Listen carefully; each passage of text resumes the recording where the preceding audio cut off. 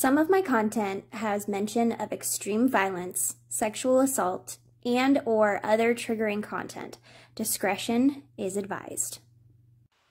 Hello. Um I got a comment from one of my viewers and she was like, "Hey, there's a update in the Cassidy Rainwater case." And I went, "Huh?" Because Google did not alert me. I had no idea. This was like, it's pretty new. It's ha happened like yesterday or the day before, but guys, it's getting insane. So I wanted to do a quick update and also talk about the case in general. So buckle up. This one's sad. This one's heavy. This one's horrible and horrifying. So yeah. So I wanted to shout out the viewer that told me about this, Danielle Sevik. Sevik? I'm so sorry if I mispronounced your name, but thank you, thank you, thank you for telling me. Like I said before, my viewers, people in the comments tell me stuff before I even find it out sometime. And thank you, thank you, thank you, so that I can update on this case and talk to you guys more about it.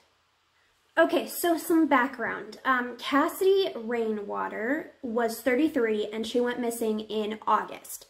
Um, she is from the Kansas City, Missouri, Missouri area.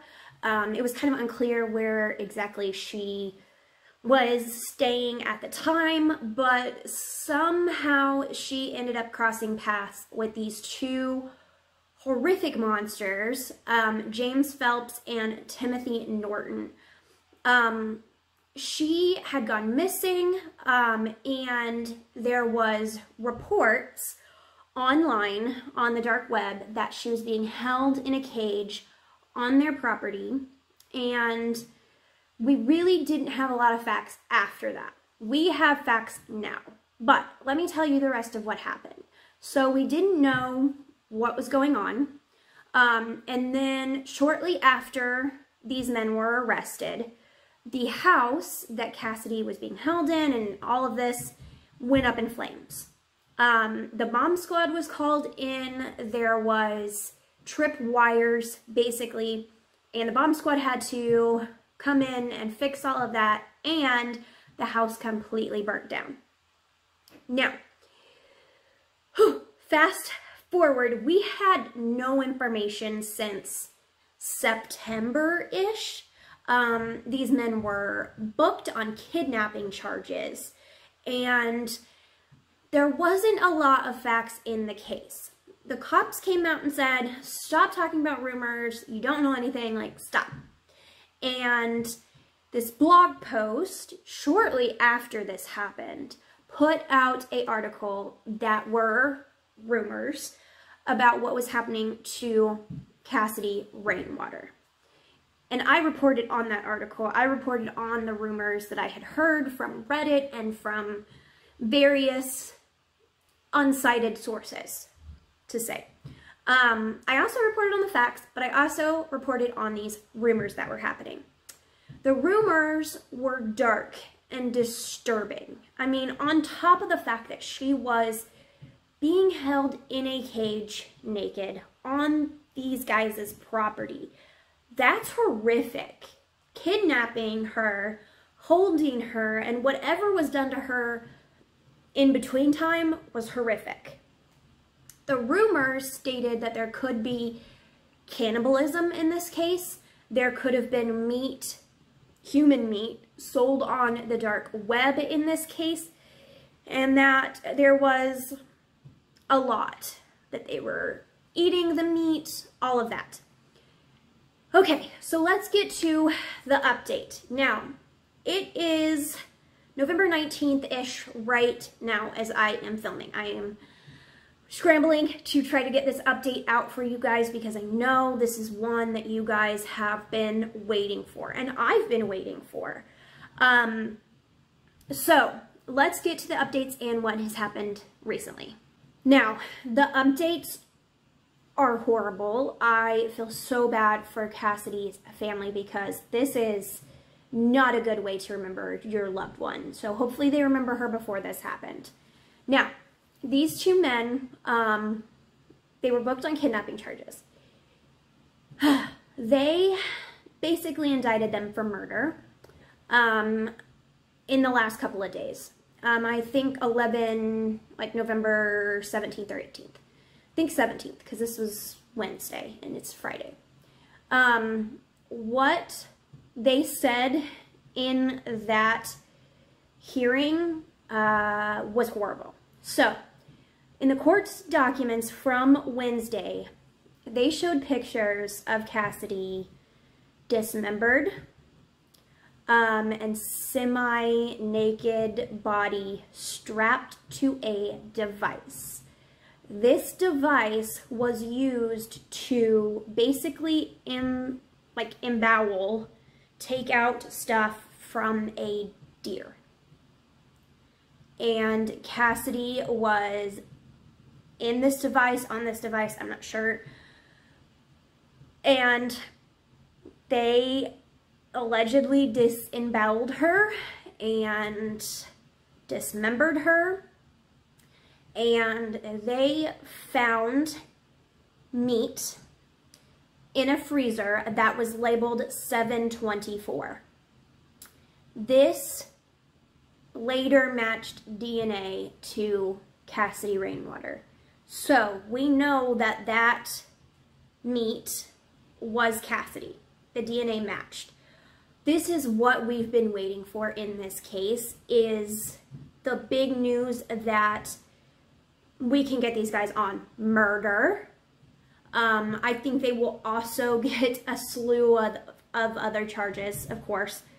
But now we know they have the DNA. We know that Cassie passed, Cassidy passed, and horrible, horrible things happened to her after. Um, whew, let's take a breath. Um, so the disembowelment and the dismemberment, um, they were taking apart humans and eating them at the least. They could have been selling human meat on the dark web as well. Now, these guys were due in court, but I didn't know that it was coming up this fast. Um, but Mr. Norton, I hate calling him even Mr. Like, oh, disgusting guy, Norton, um, reportedly pled not guilty. But he admitted that he had strangled Cassidy. So, I don't know what he's trying to do there, but yeah. So he admitted that he strangled her. So as of right now, Norton and Phelps are only being charged with stuff related to Cassidy Rainwater. I know there was a lot of rumors about how these guys could be connected to a lot more. I think that that's probably true. These men are horrible um, men, but they knew what they were doing to get away with it. Um, they knew what they were doing to dismember someone. I don't think this was their first time, but I could be wrong.